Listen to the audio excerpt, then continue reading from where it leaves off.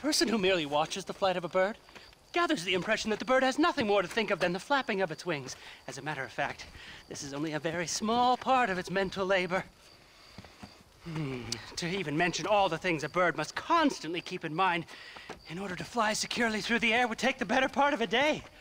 The bird has learned this art of equilibrium and learned it so thoroughly that its skill is not apparent to our sight. We only learn to appreciate it when we try to imitate it.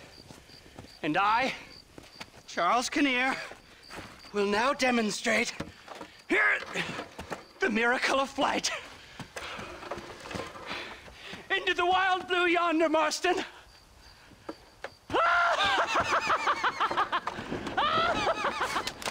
oh dear.